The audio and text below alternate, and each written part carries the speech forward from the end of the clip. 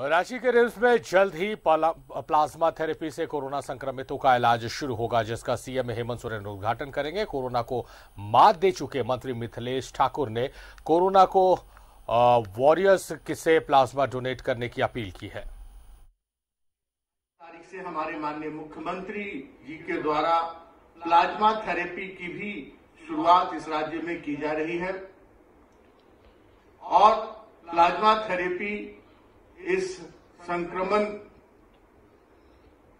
को भगाने का एक बहुत बड़ा हथियार है। मैं सभी वैसे कोरोना वॉरियर्स से ये अपील करना चाहता हूँ कि जो लोग कोरोना संक्रमण से लड़कर और कोरोना पर विजय प्राप्त किए हैं, वो सारे लोग अपना प्लाज्मा दान करें ताकि वैसे संक्रमित लोगों, जिनका जो इससे पूरी तरह से जकड़ चुके हैं, उनका इलाज संभव हो।